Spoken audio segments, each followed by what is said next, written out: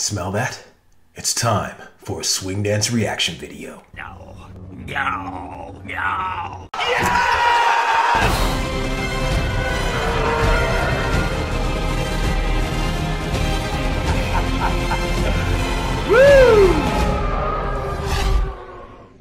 Hello there, welcome to Street Smart Swing. My name is Jamin Jackson, also known as the Galactic Swing Dance Umpire, and I am excited to be scrutinizing another video today. Today it's going to be KLHC 2019 Jack and Jill Advanced Division, which means a lot of different things for a lot of different people and all the different swing dancing communities. But this is Korea, so I mean, advance is probably going to be really, really high. So let's get into it! And here we go.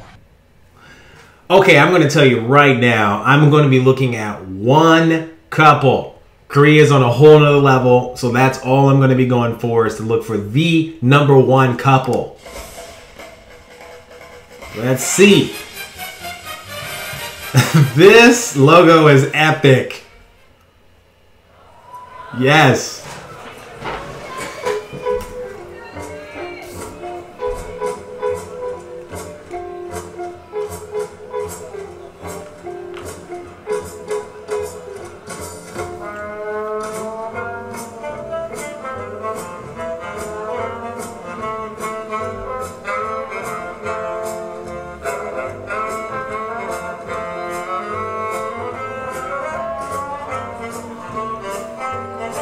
Folks, one of the qualities I'm going to be looking for is uniqueness. I want to see some weird. I want to see some some style that is risk taking and a little bit different. So let's see what happens with this.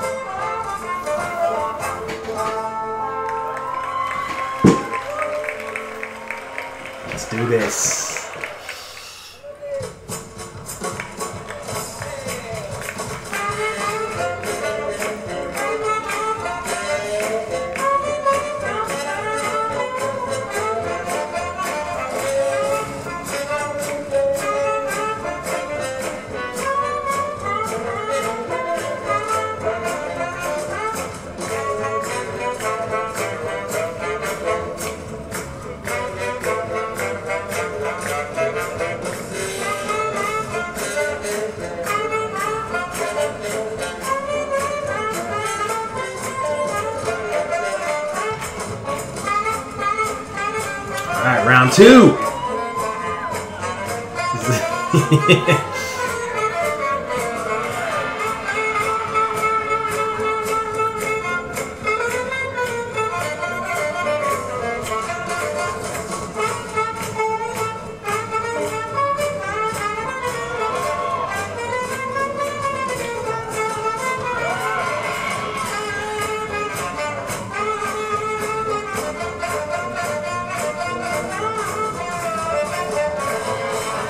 Okay.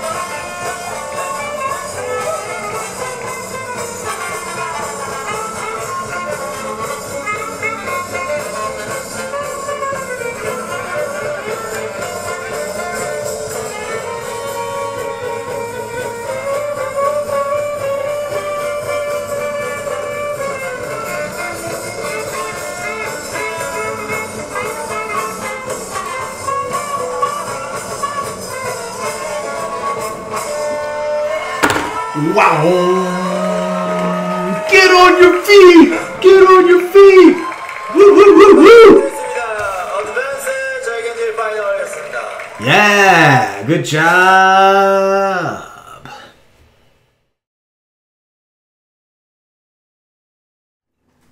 All right, so let's jump right into my analysis of this video.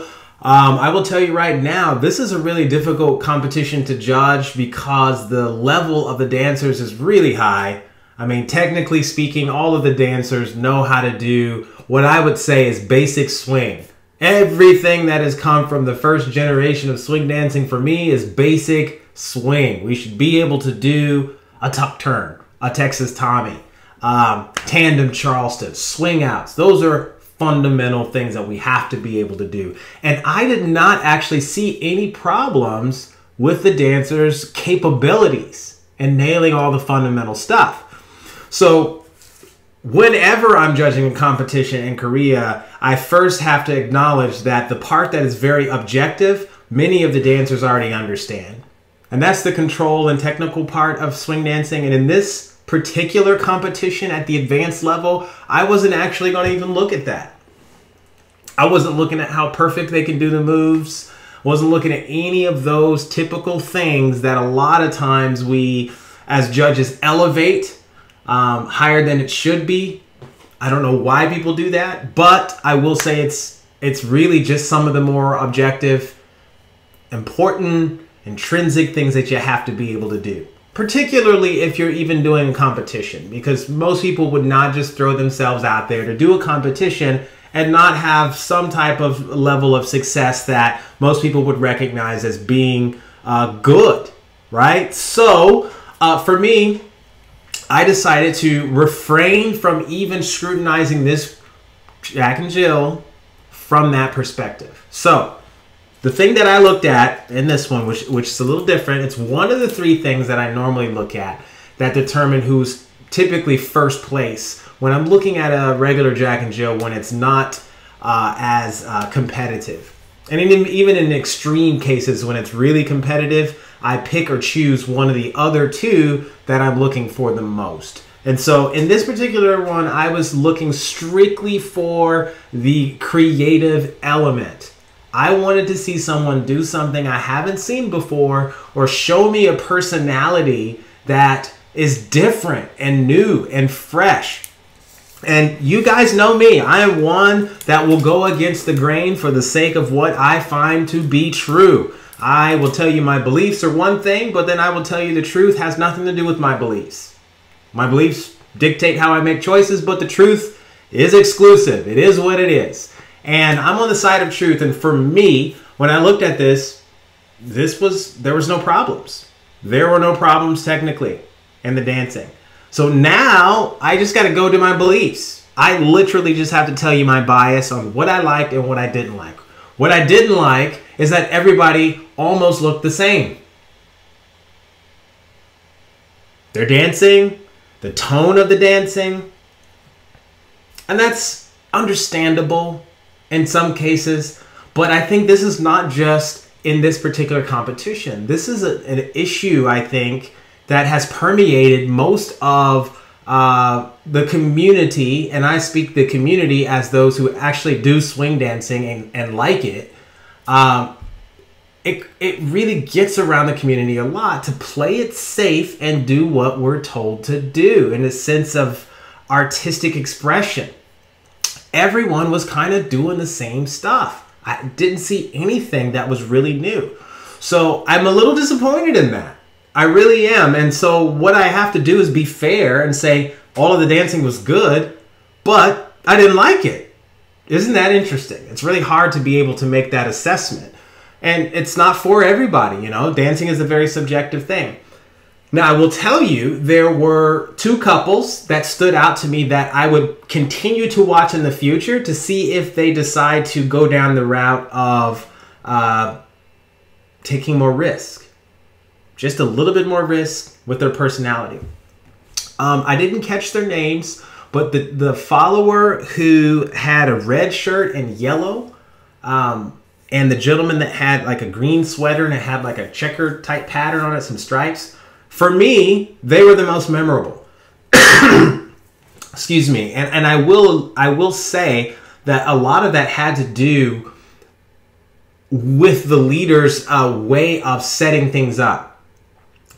He would set something up, the follower would receive it and move, but he wouldn't just go into this default movement like, hey, I'm supposed to do this every time I do a swing out, or every time I do a tuck turn, my face is supposed to make this expression, or my hands are supposed to do the exact same thing, when really we only have two moves in swing dancing. We have left and we have right. We got, that's it.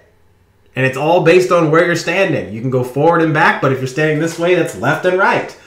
right?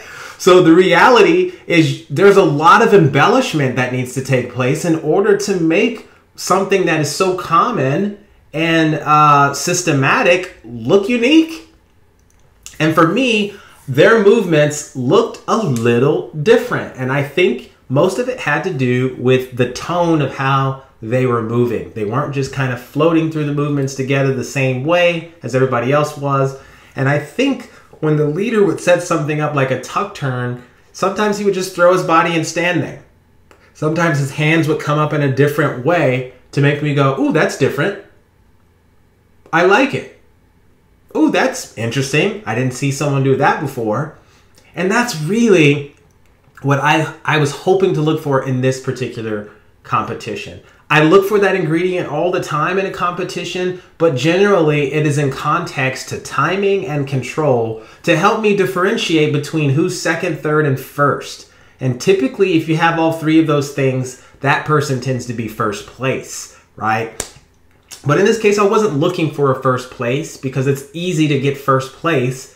Um, but it doesn't necessarily mean you're growing. It doesn't mean that you're stretching yourself, nor does it mean that you're unique and in this case, where everyone can pretty much nail the competition on a technical standpoint, I was specifically looking for who was going to do something different to get me outside of the perspective of just looking at monotonous things, right? And they did that just a little bit. So, whoever that couple is, um, thank you for doing that. Thank you for just being different and trying different moves and weird, weird positions with your body that makes Lindy Hop interesting to me when we can just be ourselves a little bit. I know it's scary to just get out there and just embrace who you are and expect people to like you. But that's the reality is not everybody's going to like you. And I think it's easier to recognize that it's okay if not everybody likes your dancing. But what's really important is if you let them get a glimpse of who you really are, because you might find out there's a lot of people who do. And in many cases, there's more people who will appreciate your uniqueness and being who you are as opposed to just doing what you're told and imitating other people. Anyways, that's my perspective on it. What did you guys think? Who did you think was the most creative dancer? Who was the most different? Um, the other couple I really liked was the gentleman. He had uh, pink, uh, yellow hair, and the partner had pink dress on. They were different. They aesthetically went for something. He went for something different. And when they were doing their moves, they kind of played around. It, almost looked like it was like being silly, and, and that's different. Some a lot some dancers like to use humor, and that's okay too. But it, it's something that just adds a freshness and a uniqueness to the overall template that we see that I think is appealing and we need to see more of. So if you are a dancer and you're, you know, doing strictly's and things like this and you're wanting to get inspiration, I would encourage you, you want to start watching other dancers just to imitate them the best you can. And then once you've really learned how to do what they're doing, change something. Just keep growing from that process. Start off looking, imitate until you master it, and then change something.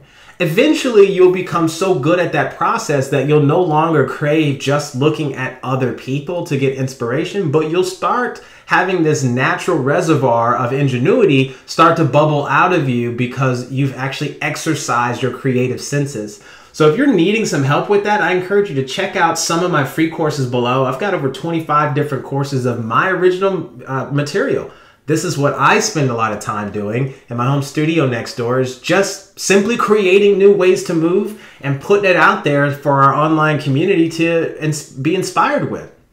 If you're a dancer who's really creative and you're coming into the scene and you're like me and you're like, how do I get good at this really fast? I don't want to take a long time at this. And from what I'm experiencing so far, it seems like it's really hard from all the different explanations and all the different approaches that just get in the way of what this thing really is.